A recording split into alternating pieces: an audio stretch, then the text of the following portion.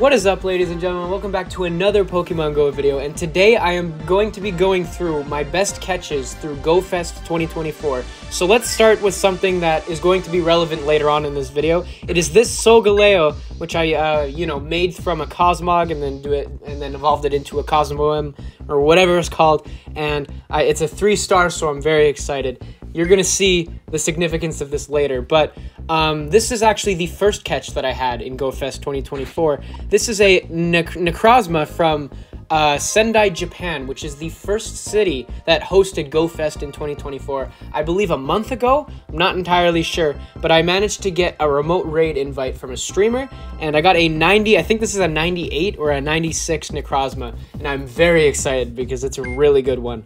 But that doesn't stop yet because this is Global Go Fest. I was on my vacation when I caught this.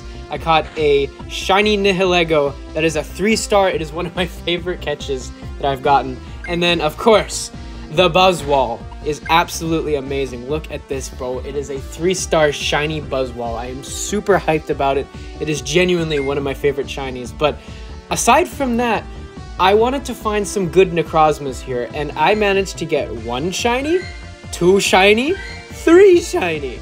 And unfortunately, two of them are two stars, so um, I mean that's kind of that kind of sucks. I can't lie, but um, basically what I'm going to be doing in this video is I'm going to be evolving my Cosmog, of course, and I'm going to be evolving it into a Lunala because I have a Solgaleo already. And basically what I'm going to be doing is fusing these two Pokemon together, and we are going to see it evolve and it is going to look absolutely amazing and I guarantee you guys are going to absolutely love it.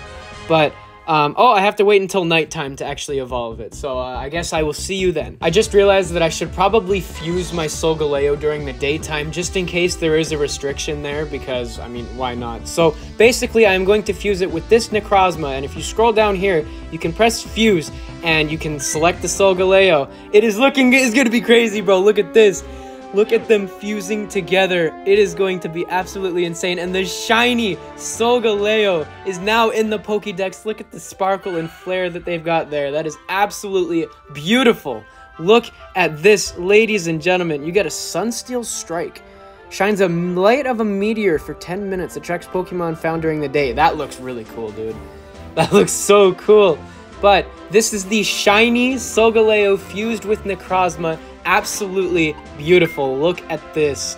I am in absolute love with this Pokemon. It looks amazing. So, let's skip to nighttime to do the Lunala. Alright, y'all, we are back almost like five hours later, and I can finally evolve my Cosmoem into a Lunala, and let's do that right now, because we kind of need the Lunala in order to fuse it with Necrozma. So, let's see what Lunala looks like, ladies and gentlemen. Oh, it, it, slowed down for a sec. Hey, it just spawned right in, bro. It just like poofed right in. God damn. Anyways, there is Lunala. Looks absolutely insane. Dude, I love the cosmic uh, aesthetic that these Pokemon go for. Damn, this bro. This bro is huge. Damn. Anyways, let's fuse it with Necrozma right now with our second best shiny. Unfortunately, this is only a two-star, but you know what? I don't really care. I just want to see the shiny right now. Y'all, let's go. Let's go. See the Lunala shiny Necrozma fusion. Absolutely beautiful. Look at this um, absolute beautiful Pokemon. Let's go. We got Lunala, Dusk form, whatever it is in the uh, Pokédex. And we got a different sort of thing here. Uh, I, don't, I don't know what this is. But ladies and gentlemen, we have officially completed our uh, Necrozma uh, Dusk Form and Solgaleo and Lunala fusions together, and they are both shiny, which is absolutely amazing. They look unbelievable, dude. I am so happy that I spent so much time trying to get all these. But you know what?